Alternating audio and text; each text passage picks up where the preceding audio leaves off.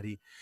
Eh, soltanto chi ha vissuto eh, certe storie può capirle. Non aveva riscosso neanche il favore del sindaco di Scafati, l'atto aziendale illustrato la scorsa settimana dal direttore generale della ASLA Salerno ai 158 sindaci della provincia.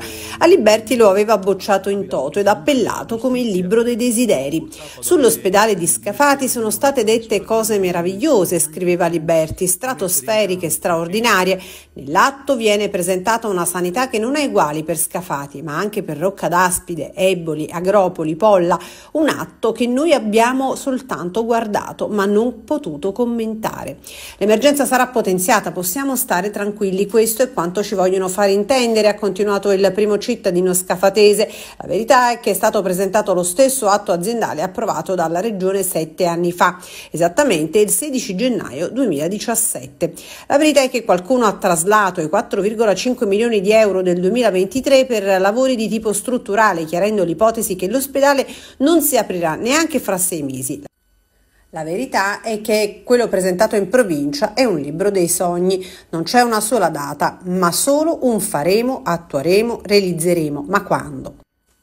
La verità è che la presentazione sembrava più l'analisi del problema che la soluzione al problema, un continuo chiedere aiuto ai sindaci che invece chiedono aiuto a loro. La sanità è gestita dalla regione, il direttore generale è nominato dal presidente della regione, per cui quale mano chiede il direttore generale, magari per convincere il governatore a spendere il miliardo di euro che gli è stato trasferito dal governo per la sanità campana, per convincerlo a distribuirle su tanti ospedali e non a concentrare la maggior parte dei fondi soltanto sull'ospedale ospedale di Salerno, 400 milioni di euro per costruire un altro policlinico a Salerno da 700 posti letto, mentre si riducono alla canna del gas ospedali e servizi in tutto il Salernitano con la scusa della carenza di medici. La verità, continua Liberti, è la situazione attuale dell'ospedale di Scafati. 24 posti letto, unico caso in Italia, mentre a Nocera i pazienti giacciono su barelle appoggiate nei corridoi dei reparti. Dopo un anno e mezzo non è stato riaperto il laboratorio di analisi a Scafati, mentre si continua a pagare un fitto salato per le sofisticate apparecchiature abbandonate nei locali.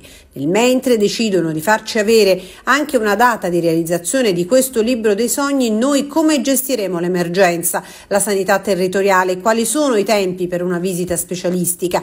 Dopo otto anni di governo regionale non è possibile il silenzio su questi argomenti, è una questione di vita o di morte. Ai sindaci del Salernitano mettiamo da parte i colori politici, dice Aliberti, i nostri concittadini stanno morendo per mala sanità, così come attesta anche la Genas.